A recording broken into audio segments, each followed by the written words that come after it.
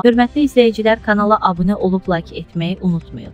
Günün xəbərləri təqdim edir.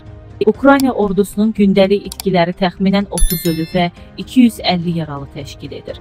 Getdikimiz az xəbər verir ki, bu sözləri Ukrayna prezidenti Volodimir Zelenski cümə günü Teval Street jurnala müsahibəsində deyib. Nəşrin məlumatına görə dövlət başçısı may və iyun aylarında öldürülən Ukraynalı hərbiçilərin daha çox gündə 100-200 nəfər olduğunu bildirib.